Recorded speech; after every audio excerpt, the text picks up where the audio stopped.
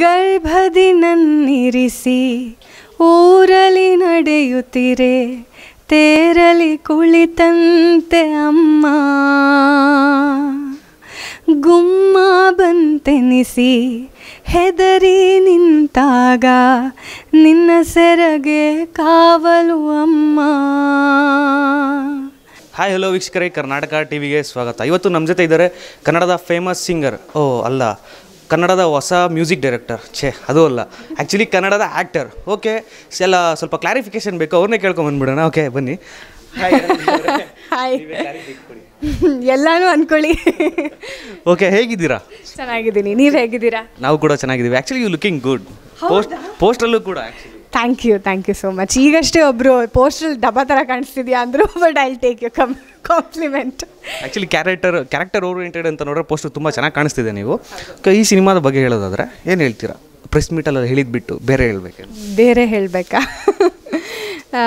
ಬೇರೆ ಏನು ಹೇಳಲಿ ಈ ಚಿತ್ರ ನನಗೆ ತುಂಬ ಹತ್ತಿರ ಈ ಕ್ಯಾರೆಕ್ಟರು. ಯಾಕಂದರೆ ನಾನು ನಾನು ಏನಿದ್ದೀನಿ ಅದನ್ನು ಬಿಟ್ಟು ತುಂಬ ಆಚೆ ಬಂದು ನಾನು ಕ್ಯಾರೆಕ್ಟರ್ ಏನೂ ಮಾಡಿಲ್ಲ. ಯಾಕಂದರೆ ಈ ಕ್ಯಾರೆಕ್ಟರ್ ನನಗೆ ತುಂಬ ಹತ್ತಿರ ಯಾಕಂದರೆ ನನ್ನ ನನ್ನ ಒಳಗಡೆ ಇಲ್ಲದೆ ಇರೋ ಅಂಥದ್ದು ಹೊಸದೇನು ಮಾಡಿಲ್ಲ. ಆದರೆ ಪ್ರಾಬಬ್ಲಿ ಲೀಡಾಗಿ ಮಾಡ್ತಿರೋದ್ರಿಂದ ಪ್ರಿಪ್ರೇಷನ್ ಬೇರೆ ಇತ್ತು, ಜಾಸ್ತಿ ಇತ್ತು. She also motivates and she is also teacher and everything so ನನಗೆ ತುಂಬ ಇಷ್ಟವಾಗಿದ್ದ ಕ್ಯಾರೆಕ್ಟರ್ ಆ್ಯಂಡ್ ತುಂಬ ಚಾಲೆಂಜಸ್ ಇಲ್ಲದೆ ಮಾಡಿರುವಂತಹ ಕ್ಯಾರೆಕ್ಟರ್ ಅಂತ ಹೇಳ್ಬೋದು. ಓಕೆ ಮ್ಯೂಸಿಕ್ ಡೈರೆಕ್ಷನ್ ಅಂತ ಥಾಟ್ ಬಂದಿದೆ ಯಾರಿಗೆ? ನಿಮ್ಗೆ ಇಲ್ಲ ಡೈರೆಕ್ಟರ್ಗೆ ಇಲ್ಲ ನನಗೆ ಡೆಫಿನೆಟ್ಲಿ ಇರಲಿಲ್ಲ. ಯಾಕಂದರೆ ನನಗೆ ಈಗಲೂ ನೀನು ಮ್ಯೂಸಿಕ್ ಡೈರೆಕ್ಷನ್ ಮಾಡ್ತೀಯ ಅಂದರೆ ಇನ್ನೊಂದು ಹತ್ತು ವರ್ಷ ಕೊಡಿ. ನಾನು ಸ್ವಲ್ಪ ಕಲ್ತ್ಕೊಂಬಂದು ಮಾಡ್ತೀನಿ ಅಂತಲೇ ಹೇಳ್ತೀನಿ. ಆದರೆ Guru Sawant sir director was he wanted ಅಂದರೆ ಯಾಕಂದರೆ ನೀವು ಇದ್ರಲ್ಲಿ ಚೆನ್ನಾಗಿ ಮಾಡ್ತೀರಾ ನನಗೆ ಭರವಸೆ ಜಾಸ್ತಿ ಇದೆ ಅಂತ ಅವ್ರು ಮಾಡಿಸಿದ್ದು. ಓಕೆ ನಿಮಗೆ ಹಾಡೋದಕ್ಕಾದ್ರೂ ಆಗಲಿ ಮ್ಯೂಸಿಕ್ ಡೈರೆಕ್ಷನ್ ಮಾಡೋದಕ್ಕಾಗಲಿ ಯಾರು ಇನ್ಸ್ಪಿರೇಷನ್ ಮೇಡಮ್ ಹಾಡೋದಕ್ಕೆ ಅವರು, ಇವರು ಅಂತ ಇಲ್ಲ, ಸಾಕಷ್ಟು ಜನ ಇದ್ದಾರೆ ಯಾಕಂದರೆ ದಿನಕ್ಕೆ ಒಬ್ಬೊಬ್ಬರು ಹೊಸೊಬ್ಬರು ಹೊಸ ಸಿಂಗರ್ ಇಷ್ಟ ಆಗ್ತಾರೆ, ಅಥವಾ ಯಾವುದೋ ಬೇರೆ ದೇಶದ, ಯಾವುದೋ ಹಳ್ಳಿಯಲ್ಲಿರುವಂತಹ ಒಂದು ಅಜ್ಜಿ ಇಷ್ಟ ಆಗ್ತಾಳೆ.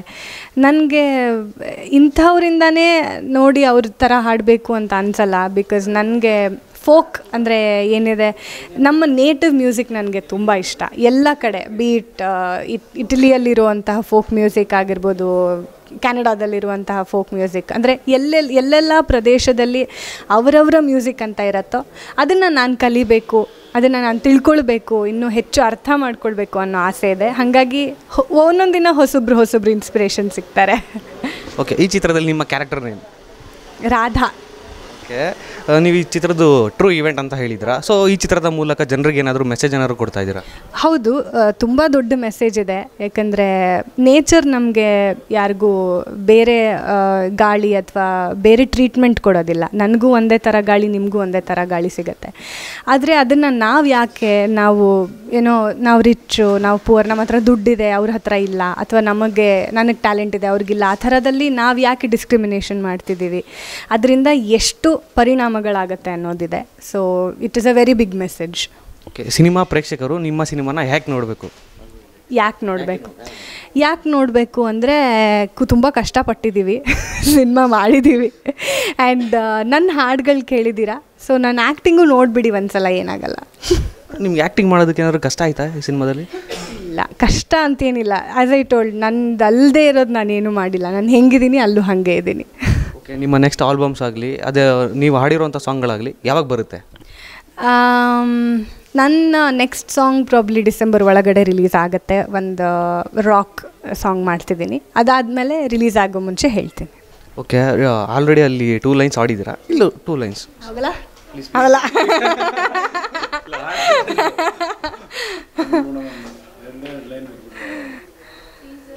ಬೇರೆ ಹಾಡು ಹೇಳ್ತೀನಿ.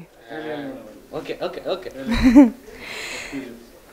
ಗರ್ಭದಿ ನನ್ನಿರಿಸಿ ಊರಲಿ ನಡೆಯುತ್ತಿರೆ, ತೇರಲಿ ಕುಳಿತಂತೆ ಅಮ್ಮ.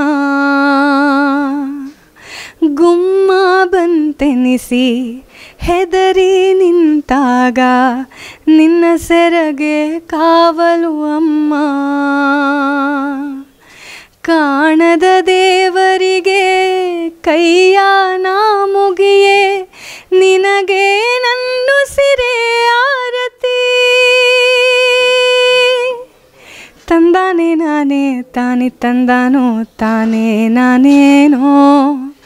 ತಂದಾನಿ ನಾನೇ, ತಾನೆ ತಂದಾನೋ, ತಾನೇ ನಾನೇನೋ.